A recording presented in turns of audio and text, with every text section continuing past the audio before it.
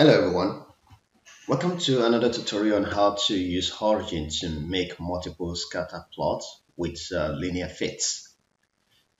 In today's tutorial, I'll be showing you how to make a figure of a plot that looks like this where you have uh, multiple scatter plots and then you can fit them linearly uh, using the line, the regression line. To start with, uh, this is a video that was requested by one of my viewers and uh, she specific he or she specifically made a comment on the uh, under the under the comment section requesting for this uh, tutorial. So if you also uh, need me to make any kind of video or you want to do something in Origin and you don't know how to do it, you can specifically uh, request for whatsoever you want in the comment section and I will attend to it as soon as possible. All right, let's go straight into it.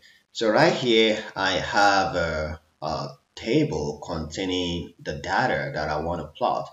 So this is an hypothetical data. It's not obtained from anywhere. It's just something that I came up with to use as an example. And what do we have? We have the x-axis being the height and uh, the y-axis are going to be countries USA, England, and Australia. So to make this plot, it's just the same thing you do whenever you want to make a number plot. So you click here to select all the data and then you go to plot and then you come to symbol and then you select the scatter. So Origin is pretty smart it's uh, automatically color code uh, each of the data sets. So like you see here, the black square is representing USA, the red circle is representing England, and the green triangle is representing Australia. So next thing you want to do right now is to make the linear fit.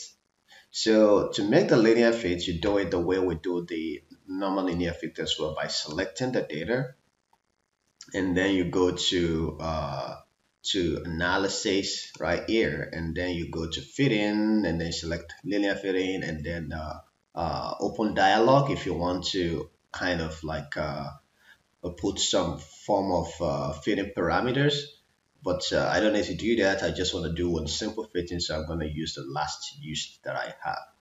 Anyways when you look at this particular situation, you realize that when I click uh, select, I have all the data selected. But meanwhile, I just want to make a linear regression fit for this. So let's let's uh, try to fit it when we have all the data selected. So you can see Origin is pretty smart. It fits everything. But you can fit them individually as well. Um, uh, the choice is yours.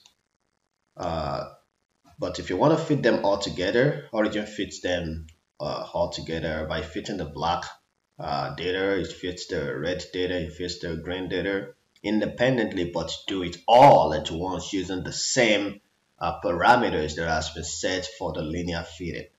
So you can see here, these are the this is the result of the fitting.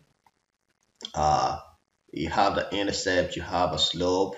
We use a no weighting uh, fitting. If you want to use a weighting fitting, maybe based on the uh, the uh, standard uh, the, the, the, the uh, standard deviations for each of the data, you can fit based on that, but you have to do that uh, when you go to the analysis to the fitting to the linear fit then you have to open dialog and then you change from no weighting to weighting so uh, more information about the fit you can go back to the book and kind of just uh, look at uh, the fit for the linear and all those things. So it has all the information right here for each of the data that was fitted anyways uh, going back uh, this is what we have so, but if you want to fit independently, let's assume that maybe you want to fit the black one with weighting and the red one with no weighting and the green one with weighting.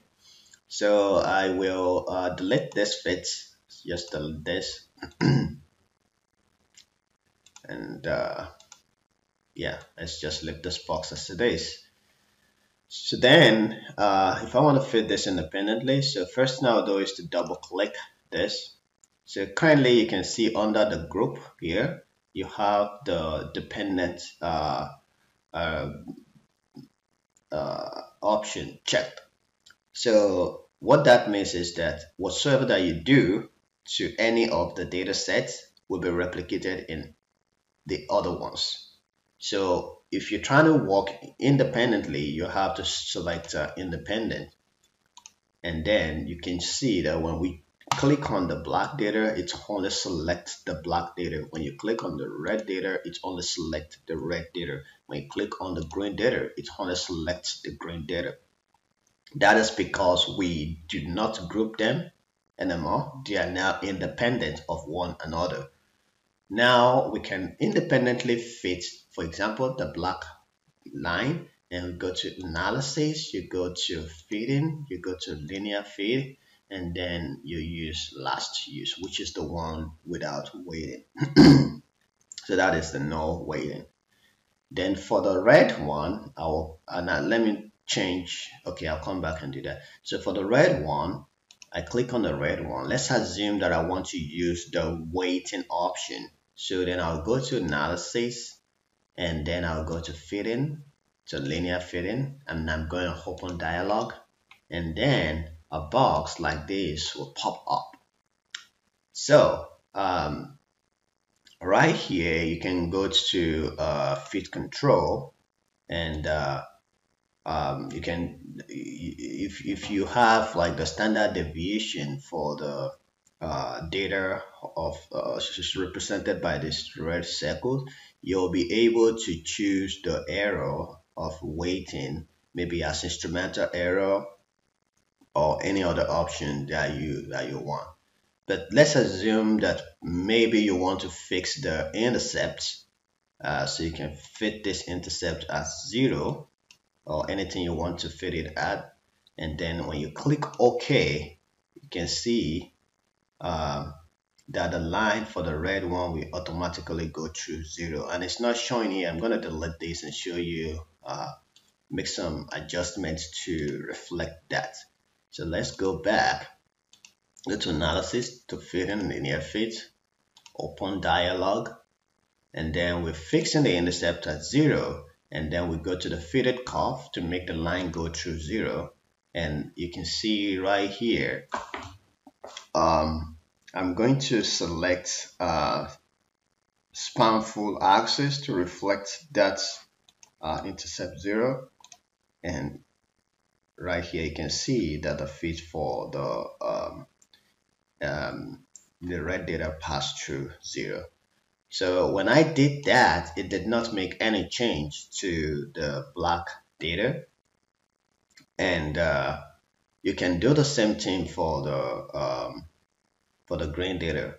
But the message I'm trying to pass across here is that when you fit independently, you can uh, make independent adjustment to the fitting parameter of the data set that you are looking at. But when you fit everything together dependently, the same fitting parameter will be used for all the data sets that you have. Okay? All right. So now let's just go ahead and uh, fit the, the, the green data set. So come here. Now let's say fitting linear fit. So if I use last used, it's gonna uh, fit the green data using the same uh, fitting parameter that I use for the red data. But I don't want that. I can go ahead and independently adjust the fitting parameter for that as well. But so what I will do here is that I will not uh, fix the axis. So it's it's it's not uh, fix the I will not fit the intercept. So that is fine. The other thing I change is the span of the fitting parameter. So I want to use the full span to the axis, and uh, that is what we have. okay, so you can see that I used kind of like the same fitting parameters to uh, fit for the green and the black uh, data set. I did not uh, fix the intercept like I did for the red data set. Okay, so the choice is yours depending on what you want to do. Like uh, in this graph here, I just uh, used the same fitting parameter for the data set and you can see none of them go through the intercept. So I'm just trying to show you um, how you can independently fit your data set uh, or fit them all together all at once. So the other thing I would be doing is to make some um, aesthetic uh, changes to my plots to make them look like what we have here. Okay, you can see this looks better and uh, when you present the data uh, that looks like this, it shows uh, professionalism. Anyways, uh, you should uh, be able to get more information on how to do that. If you watch my previous videos probably the first video on how to import data into origin and make a plot.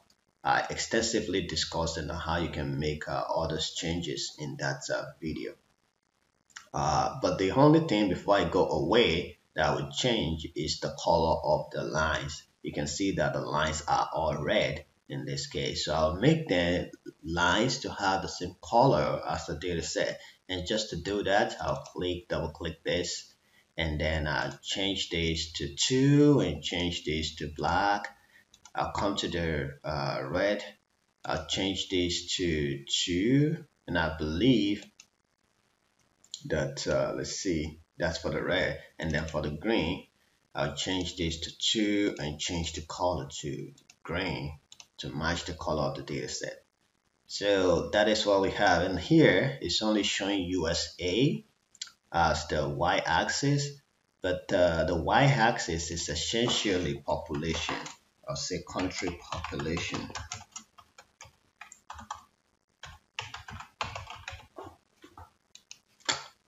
And uh, for example, in USA, when you look at one feet height, of course, nobody has a height of one feet. Uh, I don't know. Anyways, a height of one feet. There are 10 people in the USA. There are 10 people, like kind of 10 people in the three countries. But when you come to a height of three feet, there are 10, there are 20 people in the USA and there are uh, 10 people in the other two countries. So the y-axis is the country population and the x-axis is the height or the height is the x-axis and the number of people that have a corresponding height in each of the countries is represented on the y-axis and you can read the data from the plot. So um, that is basically uh, what I have to discuss in this video and uh, eventually I make adjustment to my graph to look like this. So if you want to learn how to do that, you can watch my first uh, tutorial on how to import data into Origin and uh, make a plot. So that will be very helpful if you want to make that uh, make make make your data looks like this. And uh, that is it for this tutorial. And uh, please remember to uh, hit the like button to get the uh, this particular video to uh, the surface so that uh, whenever people want to find this on YouTube, it will be easier for them to uh, find. And also remember to like, uh, uh, to, to hit the subscribe button so you can subscribe to my channel uh, to receive notification whenever I release more useful content. All right. Have a great day and see you later. Thank you.